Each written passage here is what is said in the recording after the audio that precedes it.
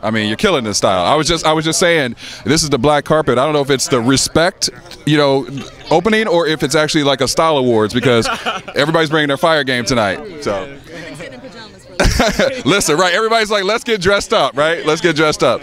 Uh, so I understand that Aretha started your career. Tell us a little bit more about that. Yeah, so I um, I met her at the Thelonious Monk piano competition. I was a competitor, and she asked to meet me after the semifinals and uh, said I was her favorite to win. And then a week later, after the competition, she gave me a call and, and gave me some career advice and told me my manager should be her, her publicist. And, and that manager actually found me my first film scoring gigs and really kind of got me out there in the beginning. And then over the course of the years that I worked with her, I knew her. She had me play for Christmas parties and birthday parties, and, and gave me a lot of advice over the years. And so, um, yeah, she had a pretty big impact on me for sure. Well, you composed the music for the film. I would imagine that that's not only exciting, but also a little nerve wracking. I mean, there's a lot of pressure with that. So, how did you prepare yourself to like come in here and take this on head on and just do your thing?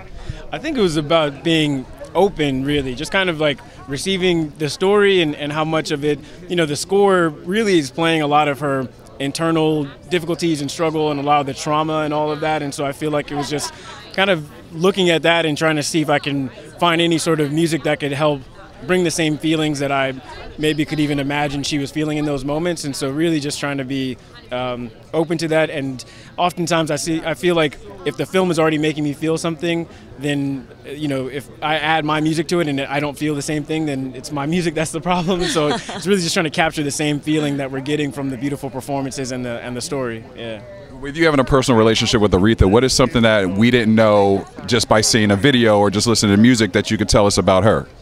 Uh, you know, I think uh, just how much of um, how much she handled her own business herself. I think it was so wild to me that like she took my number and then she called me and she was always the one that would email me or call me or text me. I never got you know it was rare that i heard from an assistant or like a manager or anything like that and the times that i played performances for her like she paid me herself. Like it was always like she did things very directly and i feel like for her to be doing that all those years just showed how much she just was um, just a, a powerhouse. Yeah.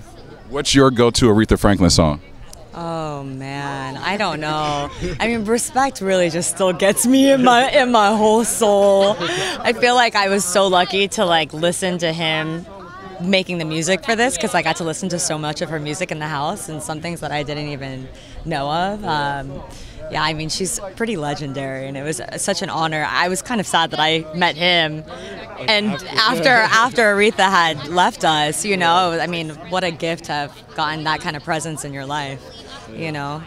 What about you?